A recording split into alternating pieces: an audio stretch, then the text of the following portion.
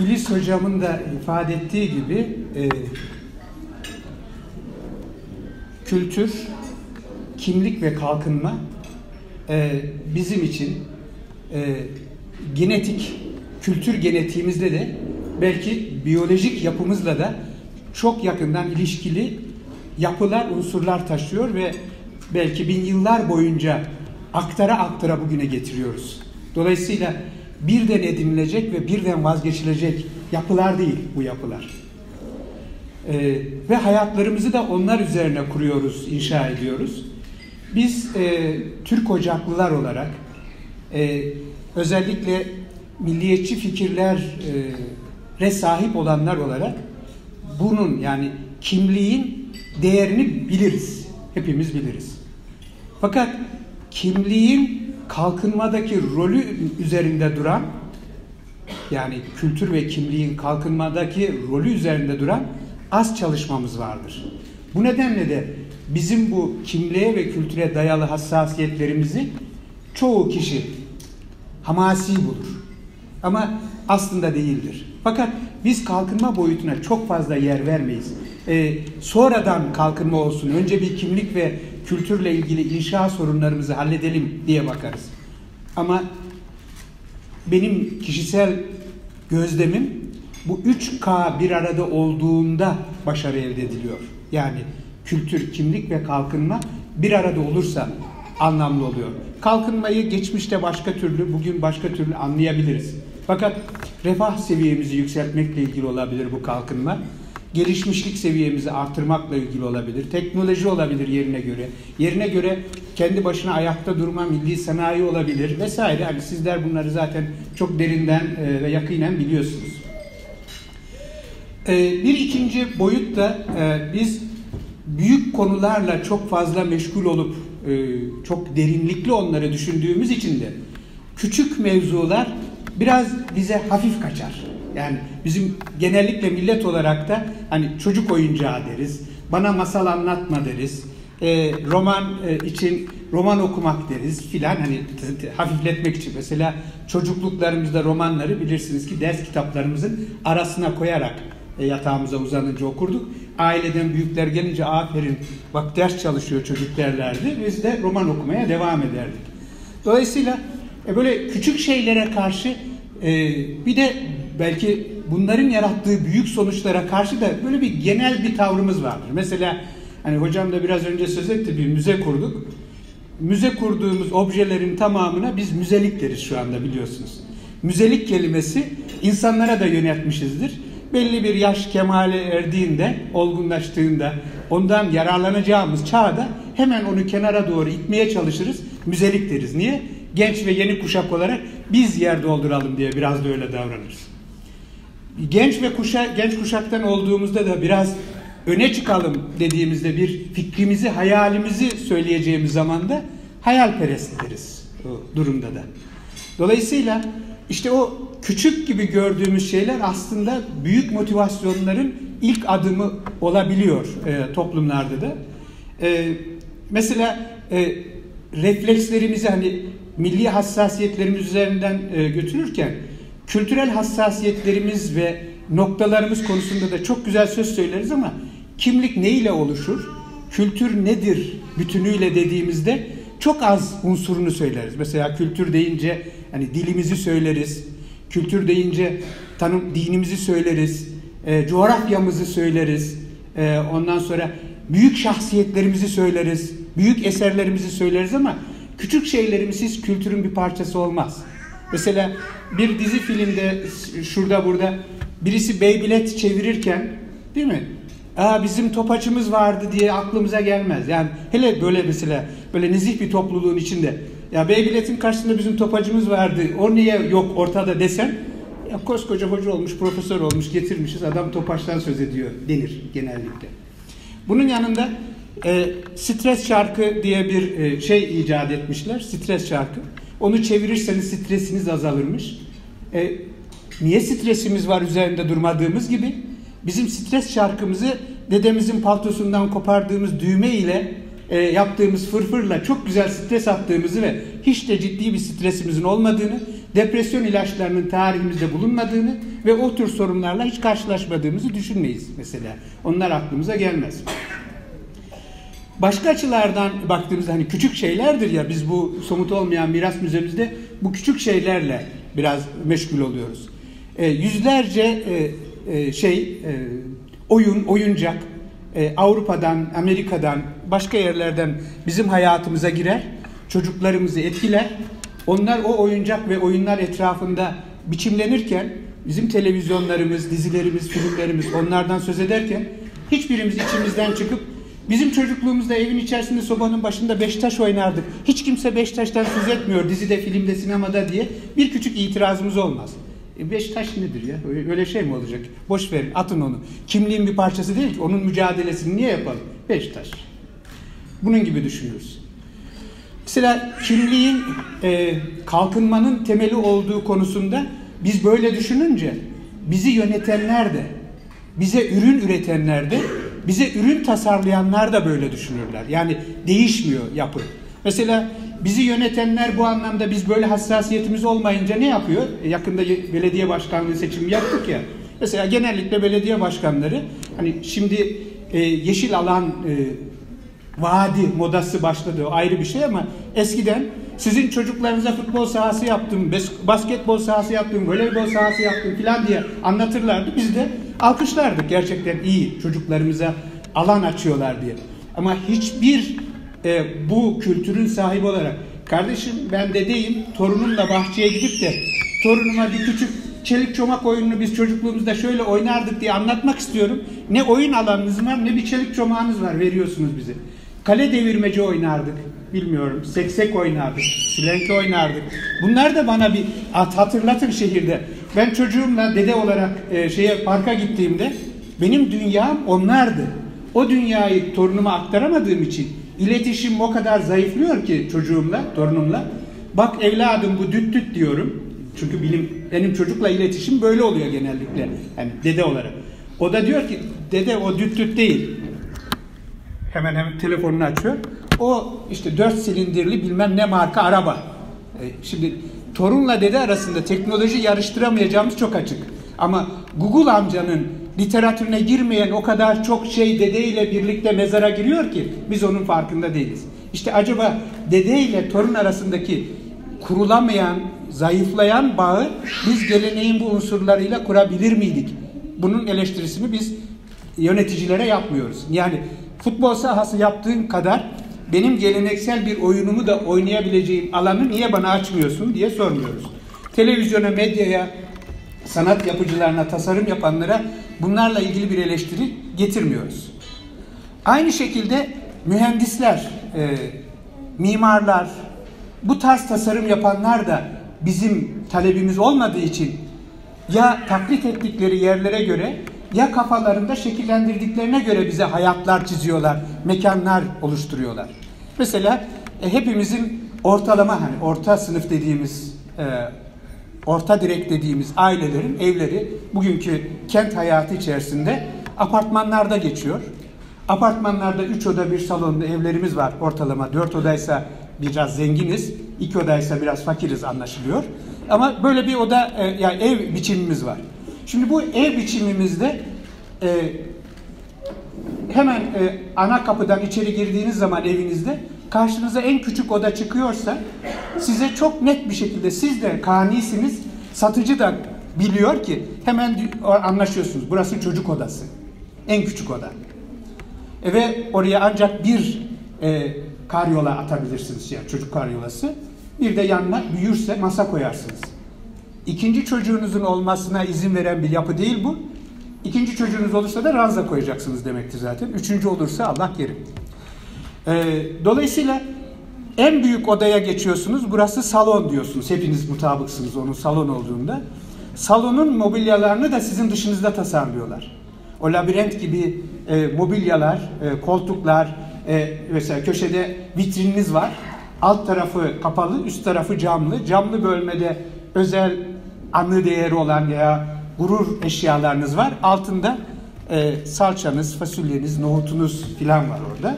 Koltuk İtalyan tipi ise üstünde bir örtü var altında yine sizin bakliyat çuvalınız var belki. Ortada bir masa var. Açılırsa 12 kişilik oluyor. Onun üstünde bir örtü, örtü hafif kıvrılmış, üstünde bir vazo, vazonun içinde kurutulmuş bir çiçek ve 6 aydır dokunulmamış halde duruyor. Ha dokunulmamış halde diyorum çünkü oranın bir ruh şey e, baskıya dayalı kilidi var ya da gerçekten kilidi var. Evin kadını izin vermedikçe yılda iki defadan fazla orası nasıl kullanılacak? Bir de ayrıca oturma odası var.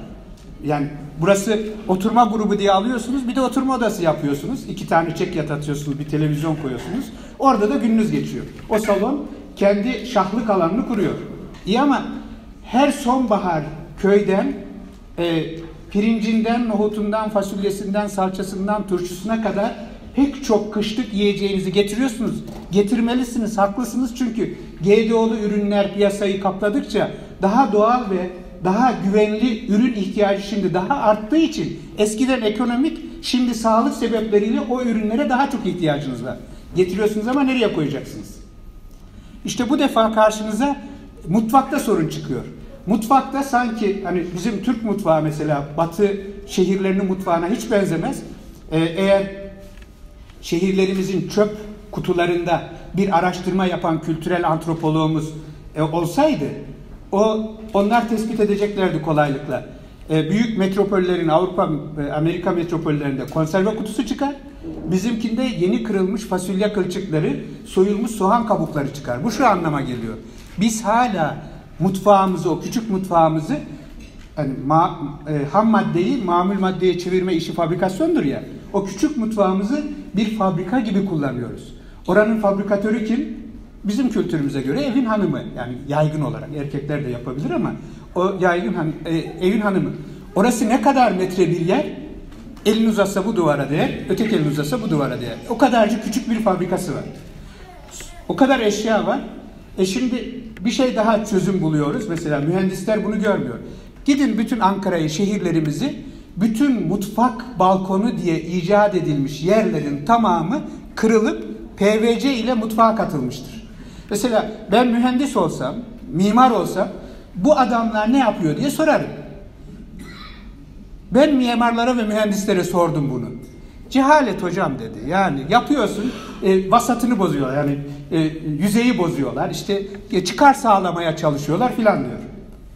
Biz o çıkar sağlanan alana girdiğimiz zaman o mutfağa katılan yere bir küçük masa atıldığını, masanın etrafına dört sandalye konulduğunu, arta kalan kısımların kiler gibi kullanıldığını, mutfakta sabah kahvaltısından evdelerse öğlen yemeğine hele özellikle akşam yemeğine bir ritüel, bir ayin gibi evin hazırlandığına tanık oluyoruz. Niye? Akşam baban gelsin de sofrayı kuralım diye başlayan cümlelerle evde bir yemek seremonisi var. Şu anda kent, metropol dediğimiz şehirler büyük oralarda akşam hangi nerede nasıl buluşalım ya da sizde buluşalım değil de akşam buluştuğumuzda ne yapalım?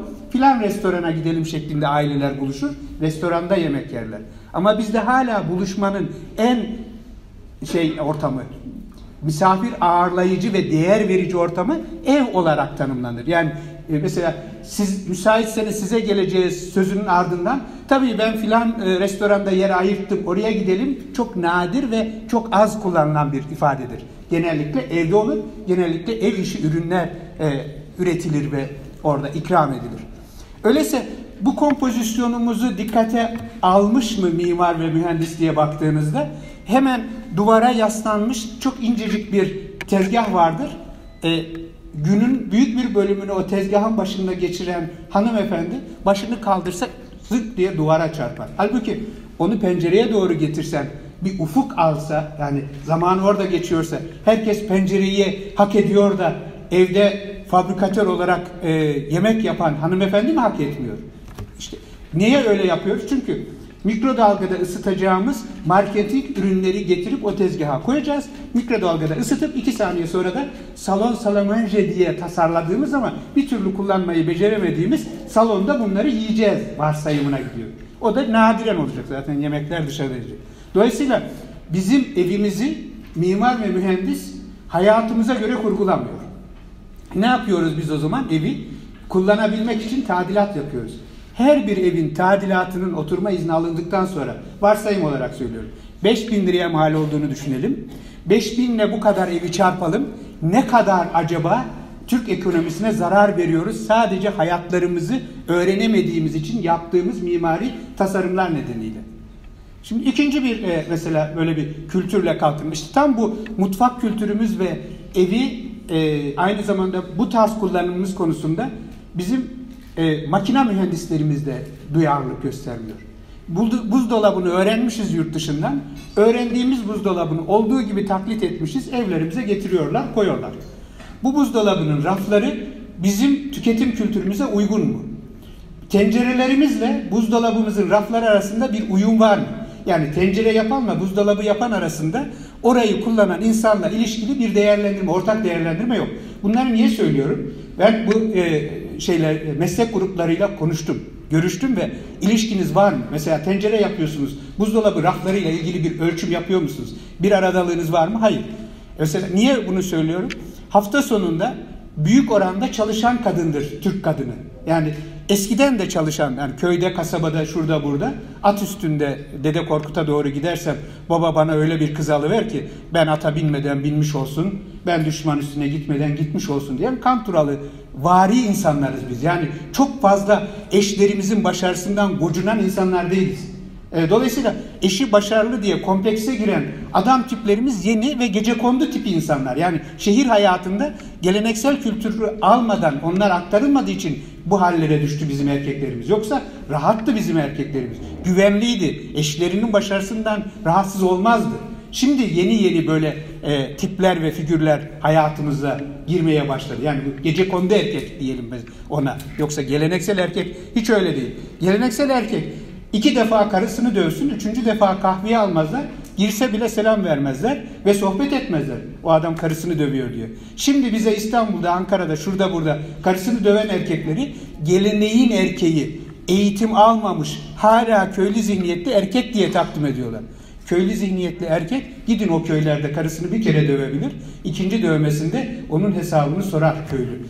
Cema cemaatini almayarak, önce reddederek sonra da daha başka türlü de sigaya çekebilir. Yani çok o sanıldığı gibi gelenek e, öyle bir gelenek değil yani onların hayal ettiği bir gelenek değil.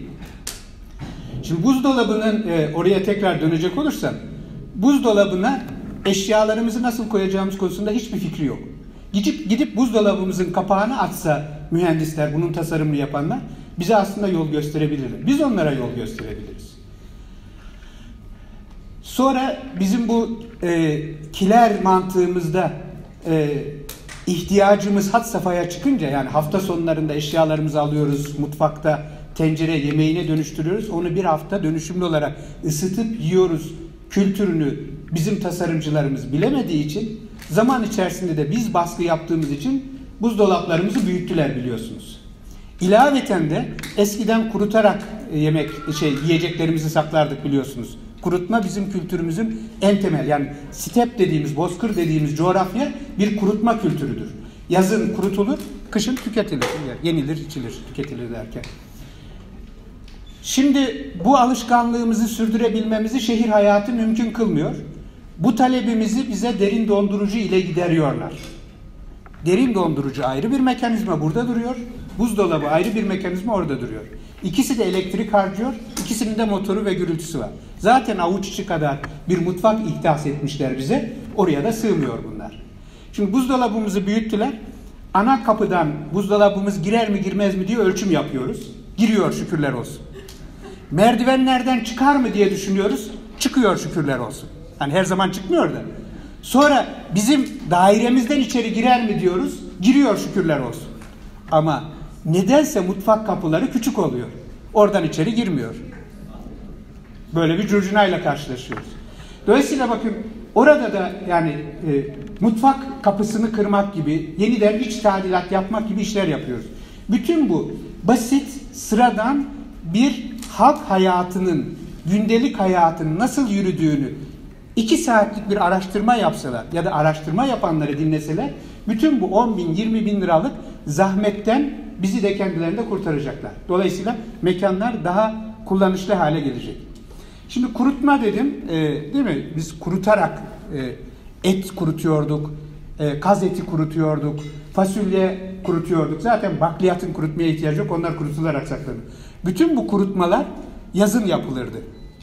Yaz ise bizde ultraviyole ışınların hocalarım da burada tıp otoriteleri onların yanında çok da e, kolayca söz söylemeyeyim. E, ultraviyole ışınları yazın biliyorsunuz dikey olarak geliyor ve bizim şimdi modalaşmış olan önceden bilmediğimiz bir ihtiyacımızı gideriyor. D vitamini. D vitamini dediğimiz ihtiyaç bizi stresten gidi, e, e, uzak tutuyor. D vitamini bizi daha güvenli hale getiriyor yani kendiyle barışık falan gibi ve daha başka sağlık e, katkıları oluyor. Kuruttuğumuz pek çok yiyecekte miktarınca veya bizi yaza yetiştirecek kadar D vitamini de depolanabiliyor. Dolayısıyla biz şimdi D vitamini de depolamayan bir e, şey derin dondurucu kültürünün içerisindeyiz. O da ne yapıyor bizi? Depresyon ilaçları kullanmaya itiyor. Hadi depresyon olmadıksa da e, şimdi içimizde D vitamini ben hiç bilmiyorum öyle bir vitamin var mı diye yok artık. Herkes D vitamini kullanıyor. Çarpıp böldüğünüz zaman da o da hatırı sayılır bir miktara ulaşıyor. Çocuklarımızı e, şimdi yani bu kent ve e, kültür içerisinde çocuklarımızı e, steril hayatlara e, alıştırmaya başladık. Bu yani çok yokluk ve çok sıkıntı çekmiş kökenlerden gelenler olarak biz kendi gücümüz ve kudretimiz arttıkça aman evladım sen yeme miden rahatsız olur ben yerime kadar neredeyse abartılı bir şekilde çocuklarını koruyan aile profilleri oluştu. Bu ne demek oluyor? Koşma düşersin, oynama yorulursun, arkadaşlarınla bulunma mikrop kaparsın filan gibi bütün bağışıklık sistemini bozabilecek e, olumsuz telkinleri çocuklarımıza yapıyoruz. Zaten onlar da bahane arıyorlar. Ellerinde iPad'leri, telefonlarıyla yalnız odalarına çekilmiş durumdalar. Böylece ne oluyor? Birincisi yedikleri ürünler gerçekten e, sağlıksız ürünler olduğu için e, yani önce fast food'tu sonra biz de yapsak e, ne olduğu belli olmayan genetiğiyle oynanmış ürünler yediriyoruz çocuklarımıza. Onlarla birlikte çocuklarımız gittikçe e, hareketsiz hale geliyor. Hareketsizlik e, aşırı şişmanlık, işte obezite diyorlar, e, ruhsal durumlarını etkiliyor. Ruhsal durumları böylece etkiledikçe yalnızlaşıyorlar. Yalnızlık onlarda stresi artırıyor. Artan stresle birlikte depresyona giriyorlar. Depresyondayım diyor çocuk 14 yaşında. 13 yaşında. Yani aklın hayalin alabileceği bir şey değil. Eğer tıbben tespit edilmiş bir sağlık sorunu varsa eyvallah. Ama sıradan çocukların gündelik hayatın içinde yüzlerce defa kullandığı bir kelimeye dönüştü. Çocuk depresyonda. Çıkaracaksın sokağa onu. Birdir bir oynayacak. Saklambaç oynayacak. Koşacak. Sağlıklı ürünlerle e, beslenecek. Akşam 9 oldu mu zaten bir de ninesinden masal dinlediği zaman onda ne depresyon kalırdı ne sıkıntı olurdu. Ben geçmişin çocuklarının depresyonluyum dediği ya da stresliyim, gerilimim var hani kendi dillerinde dediğine tanık olmuşluğum yoktur. Böyle bir şey yoktu. Dolayısıyla günden güne bu e, tarz hayatlar e, bizi e, depresyonda olan bir çocuk, stresli olan bir çocuk tabiatıyla doktora gidiyor. Doktordan ilaç alıyor.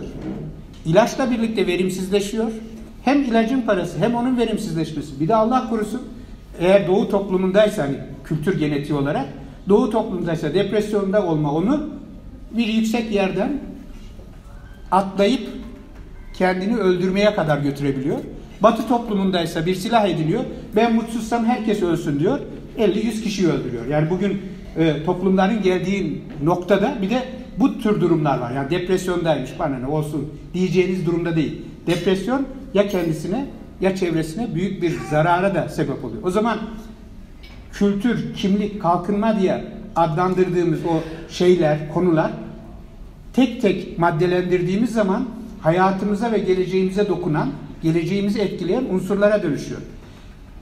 Kimliğimiz bizim kuşkusuz ki yani e, atalarımızdan dilimiz gibi öğrendiğimiz pek çok kültür genetiğimizin içinde var olan e, ve bizi Türkler diye tanımlamamızı e, yetecek unsurlar onlar var. Ama bu unsurların altını üstünü doldurmadığımız zaman kültürümüzle ve bu kültürden yararlanarak geleceği inşa etmediğimiz durumlarda e, tek başına e, birisini ele aldığımızda kültürü, tek başına kalkınmayı ele aldığımızda, tek başına kimliği aldığımızda bütünleşik bir yere varmıyor.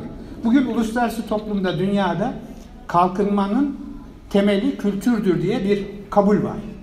Yani mutsuz insanlarla, iç dünyalarında barışık olmayan insanlarla, depresif insanlarla, akrabalık ilişkileri olmayan, bir cemaatin parçası olmayan, bakın her ne kadar kusura bakmayın ben konuşuyorum siz dinliyorsunuz ama gene de nispi de olsa bir interaktif yani karşılıklı bir diyalogumuz var. Göz göze geliyoruz, temas ediyoruz.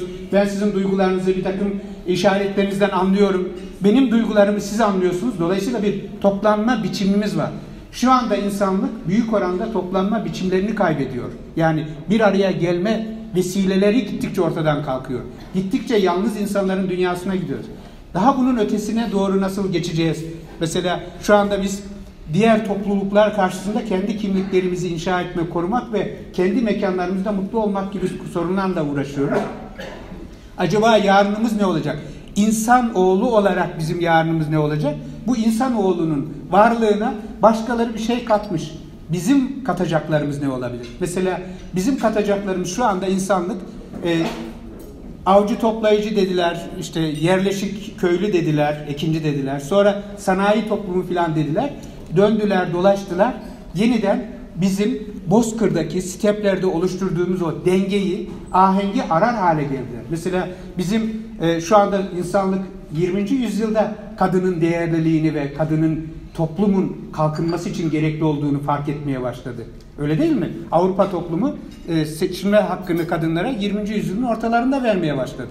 Dolayısıyla bizim toplumumuzda ise erkek ve kadının eşitliği çok önceden vurgulanmış ve erkeklerin bu anlamda biz üstünüz duygusu iyi törpülenmiştir. Mesela Kanturalı'nın hatırlar mısınız bilmiyorum. Selcan Hatun'la baba bana öyle bir kız alıver ki ben gitmeden o e, düşman üstüne gitsin diyordu.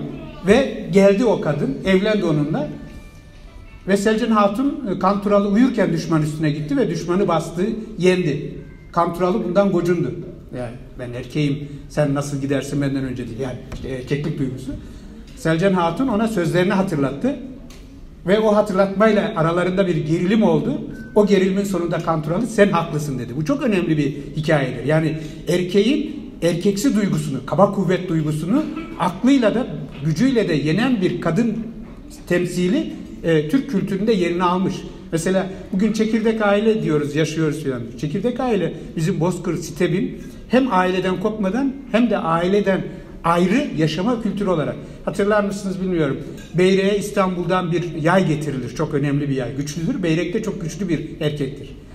Evleneceği zaman evini nereye kuracaksın diye sorarlar Beyrek'e. O da yayını getirir, gerer, okunun düştüğü yere evini kurar. Bu çok sembolik bir anlatımdır. Niye? Erkek eğer çok güçlüyse aileden o kadar uzaklaşarak evini kurar. Yani yay atımı. Ama zayıfsa, o, o geremeyecekse otur şu e, şey benim e, otağın kenarında anlamına gelir. Dolayısıyla yani güç nispetinde bağımsızlık verme, güç nispetinde gücünü teslim etme, ona teslim olma kültürde de bu şekilde yerini alıyor. Şimdi bizim bugünkü hayatımıza baktığımız zaman çocuklarımıza yayını ger, okunun düştüğü yere git diyebilecek o beyreğin doğduğu ve yaşadığı kültüre tekrar dönmemiz lazım. Şu anda dünya anlatmayı yani anlatmayı bıraktı biliyorsunuz. Şu anda biz yazıyorduk. Yazılanları okuyorduk. Yazılanların az olduğu dönemde de mesela böyle toplanıyorduk. Bizim benim burada konuştuğum gibi kıraat etme vardı. Yazanların yazdıklarından kıraat ediyordu birisi, diğerleri dinliyordu. Sonra sessiz okuma diye bir kültürümüz oluştu. Herkes sessiz okusun, her yere sessiz okuma diye yerler oldu. Ne, bu ne nereye doğru götürdü bizi? Bireysel paylaşma. Yani roman okumak dediğimiz bir roman okuma biçimi oldu. Ama bizim masallarımız, hikayelerimiz, meddah hikayelerimiz, kıssalarımız, nüktedanlarımızın anlattıkları hep öyle sessiz okumanın dışında bir dünyaydı. Ne gereği var? Roman yazılıyor ya bunlara gerek yok dedik. Ve bir araya gelme biçimlerimizi azalttık. Bu azaltmanın neticesinde de kendimizi kontrol yani sağlama yapma mekanizmalarını öldürdük. Eski geleneksel evlerde bugünkü mühendislerin yaptığı absürt yapıların hiçbirisi yoktur. Çünkü onların tamamı o sözlü kültürün içerisinde mukayeseli tartışmalarla yapılıyordu. Ama dünya nereye gidiyor şimdi biliyor musunuz? Dünya tekrar bizim bulunduğumuz siteplerdeki yere doğru yani anlattığımız, konuştuğumuz, dinlediğimiz interaktif olarak sohbet ortamlarımızı barana sohbetleri, yaren sohbetleri, sıra geceleri, köy odaları e, ya da tandırbaşı masalları gibi alanlara kayıyor. Amerika'da Barry Sanders diye bir adam var. Onun Öküzün Ağası diye çevrilen bir kitabı var Türkçe'ye Şiddetin Yükselişi. Söylediği şu. Çocukluklarından itibaren muhakemeli ve mukayeseli kültürle, sözlü kültür ortamında yetişmeyen, annesinden ninni, babasından masal dinlemeyen e, ve çocuklarla düşe kalka oynamayan, yenmeyi ve yenilmeyi, lider olmayı, lidere tabi olmayı daha çocukluğunda öğrenmeyen çocuklar gelecekte depresif, stresli ve sorun çözemez çocuklar haline geliyorlar. Onlar da çözemedikleri sorunları şiddete başvuruyor. Hangi şiddete? Bilgisayar oyunlarıyla, öğretilen oyunlarla. Bizim masallarımızın herhangi birisinde küçük bir şiddet unsuru olsa bizim pedagoglarımız ayağa kalkar. Bunda şiddet var, bunu çocuklara öğretmeyelim diye. Bir Grimm masallarıyla, Andersen masallarıyla dünyamızda oldu. Bizim kendi masallarımız, hikayelerimiz kayboldu. Şimdi Pamuk Prensesi biliyor musunuz desem, bilmeyen mi var? Pamuk Prenses'in Türk dilindeki anlatımı Nardani Hanım'dır. Biliyor musunuz desem, birkaç meslektaşım biliyor onu. Şey, bizim hikaye kültürümüz vardı, aşıklar anlatıyordu. Kerem'il Aslı hikayesi mesela. Ama biz şimdi bütün medyamızda e, kültür üretim alanlarında Romeo ve Juliet'i öğrendik. Kerem'il Aslı'yı artık e, hiç bilen ve kullanan yok. Şarkılarımız bile Romeo sarar beni, sever beni filan diye geçiyor biliyorsunuz. E, ardından bizim zenginden alıp fakire veren, haksızlığa bu anlamda baş kaldıran bir kahramanımız vardı. Köroğlu'muz. Şimdi Robin Hood geldi yerleşti. Biz öğrencilerimiz de halk bilimi, e, uygulamalı halk bilimi ve medya diye bir dersimiz var. Bu tür konuları getiriyoruz ve sınıfta tartışıyoruz. E, mesela e, Polat Alemdar diye bir karakter var biliyorsunuz. Kurtlar Vadisi diye bir dizi çekildi. Tam 8 defa ben bu çağın Robin Hood'uyum dedi Polat Alemdar. Bir kere dahi ben Köroğlu'yum demedi. Dolayısıyla başka dizilerde de bakıyoruz. Hep e, Robin Hood oluyor bizim kahramanlarımız. Yani Nardaniye Hanım yok. E, Köroğlu yok. E, Kerem yok. Ama bunun karşılığında Batı folklorunda olanlar var. Ben hiçbir kültüre UNESCO ile de bağı olan birisi olarak haksızlık etmeyeyim. Her kültürün değerli olduğuna inanıyorum. Her kültür saygıdeğerdir. Ama aynı zamanda da bir atasözümüz var. Taş yerinde ağırdır. Biz kendi kültürümüzü bilmeliyiz. Oradan esinlenmeyi bilmeliyiz. Kalkınmamız için ondan yararlanmayı bilmeliyiz. En basiti bana neden 5000 liralık pimapen yaptırma mecburiyetine götürüyor mühendisim sormalıyım. Benim çocukluğumdan itibaren öğrenemediğim şeylerden dolayı vardı suyum. Çok teşekkür ederim. Var su var. Peki. Sağ ol. Benim öğrenemediğim şeylerden dolayı, e, bilmediğim kültürümden dolayı tasarım yapamadığım alanlara neden soru sormuyorum? Belediye başkanı olan neden futbol sahası yaptığıyla övünüyor da benim dede olarak torunumla bir oyun oynamama imkan verecek mekan yaratmıyor gibi. Bunların hepsi barışık toplum, kültürel e, gelişim içerisinde bir yapı içerisinde olduğu vakit anlamlı. Mesela bize yıllarca batsın bu töre diye konuştular değil mi? Biz hani biz kültürcüler olarak hep bizde modernizmin karşısında e, ne söyleyecek sözümüz mü var? Tabii batsın bu töre diye. E, Erol Taş'ın yani yanaşma e, damat adayıyla e, kızının arasındaki aşk ilişkisinde çekip silahı onları vurmasıyla arkadan Davudi bir sesle batsın bu töre diye söylediklerinde biz de hüngür hüngür sinemalarda ağladık batsın bu töre diye. Battı bu töre. Sonra battınca bu töre ne oldu? Töre cinayeti oldu ardından. Yani köyden gelenler, kırsaldan gelenler namus cinayeti işlenince bunlar töre cinayeti oldu. Onu da kabullendik. Ama şimdi 2018'de, 2019'da lisedeki çocuklar Hani benim sevgilimdin öteki olana bakmışsın diye kıtır kıtır doğuruyor kızlarımızı. Hangi töreden söz ediyorsun? O 18 yaşındaki gece kondudaki çocuk bile değil o. E, apartmanın 40. katında bu çocuklar. Ne töresi?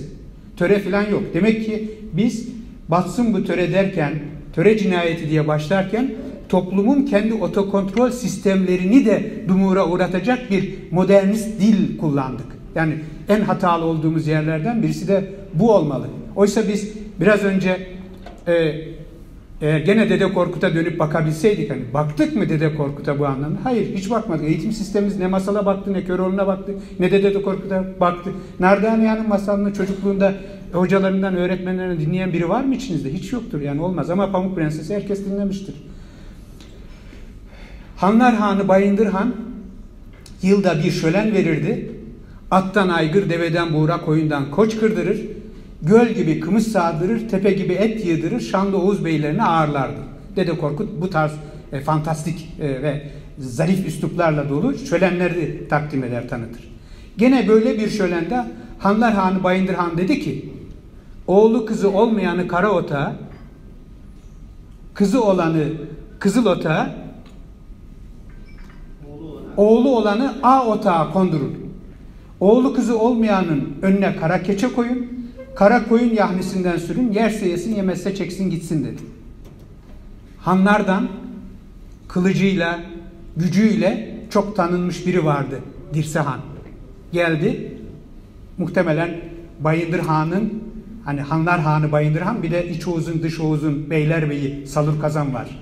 Şey gibi Padişah Sadrazam gibi düşünün ya da Cumhurbaşkanı, Başbakan gibi düşünün. E, Hanlar Hanı, e, Bayındır Han'ın ben de bu Bakanlar Kurulu gibi bir yapısına gireceğim diye düşündü e, Salur şey e, Dirsahan.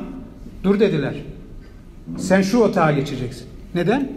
Çünkü oğlu kızı olmayanı Tanrı Teala kargamıştır. Bayındır Han ben dahi kargarım, oğlu kızı olmayanı kara otağa kondurun dedi. Aldılar adamın atını elinden, kara otağı gösterdiler. Altına kara keçe sürdüler. Önüne kara koyun yahnisi koydular. Dirsahan bu tahammül edilir bir hakaret değildir dedi. Bindi atına gitti. Bu öfkeyle ne yapacaktı? Bizim töreyi anlatan e, medyamız gelip karısını döver öldürür mutlaka ya boşar yenisini alır filan diye bekleyecek değil mi? Yani bizim töre kültürümüzle ilgili anlatım budur.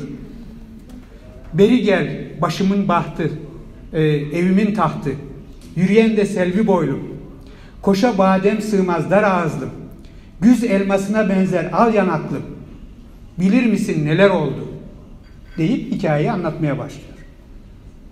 İkinci evlilik yok. Seni boşarım ha yok. Döverim söverim ha yok. Sonra o akıllı kadın öfkeli gelmiş tabii ki. Teskin etmesi gerekiyor. Han sakin ol. Ya sendendir ya bendendir. Bir hatamız olmuştur da Tanrı Teala bizi kargamıştır. Aç görürsek doyuralım. Çıplak görürsek giydirelim. Bir ağzı dualının duası da bize değer. Bizim de evladımız olur. Dedi ve bu işlem üzerine hayatlarını sürdürdüler. Bunun neticesi Boğaçan'dır. Dolayısıyla yani böyle bir kültürden böyle bir kültürden gelip e, bütün sorunlu e, ve hastalıklar açısından e, sağlıksız töre uygulamalarını yani küçük grupların patolojik kriminal işlerini töre adıyla birleştirmek çok büyük vahim bir hata ve e, cinayet işleyenlere töre şemsiyesi giydirmek, töre koruması altına almak gibi bir durum oldu. Dolayısıyla bugün o töre dediğimiz kamuoyu, kamu vicdanı yani hepimizde var. Bu vicdanı e, kullanabilir olmaktan da bizi çıkarıyor. Dolayısıyla e, çok fazla uzatmayayım burada bitireyim. Belki sorular olursa biraz daha açarım. E, yani kültür soyut olarak ele alınacak bir şey değil.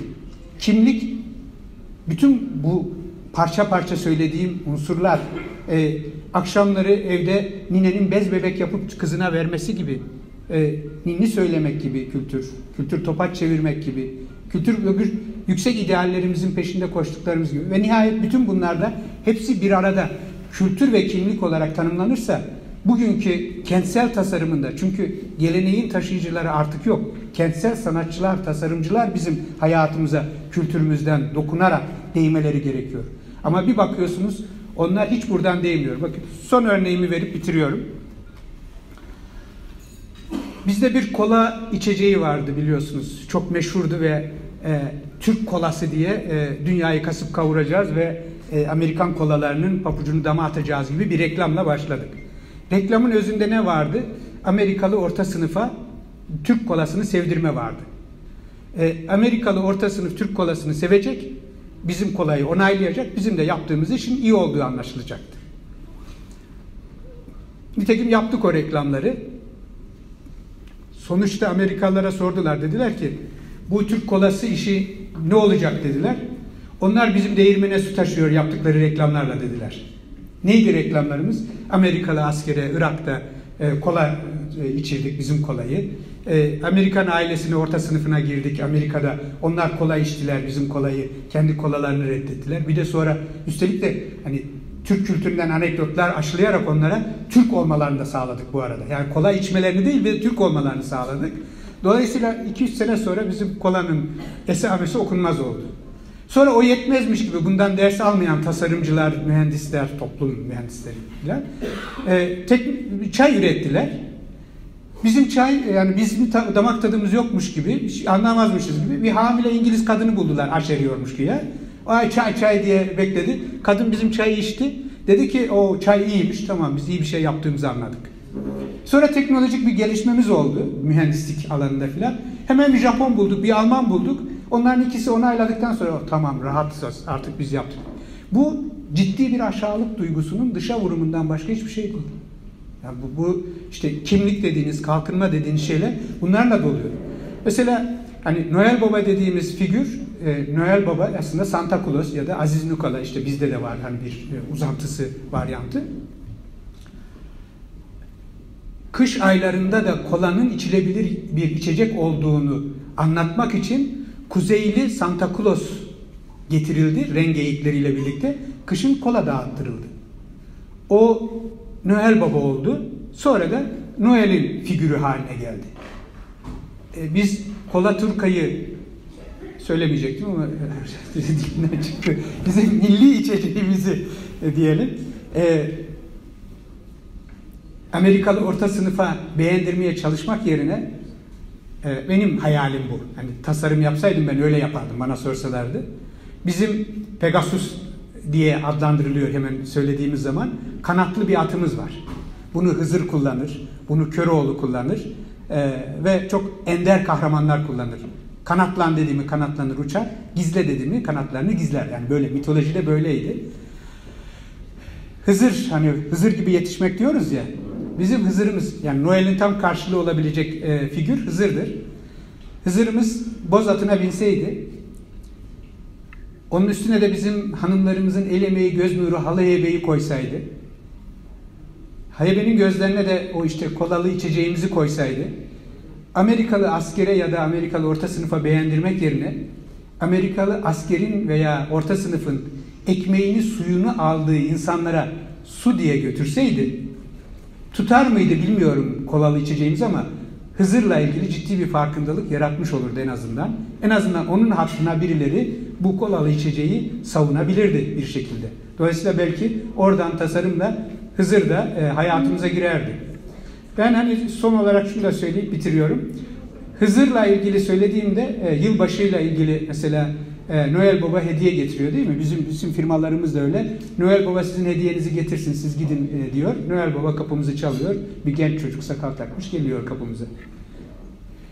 Ben de şöyle dedim hani e, fantastik olarak kurgulayacaksak.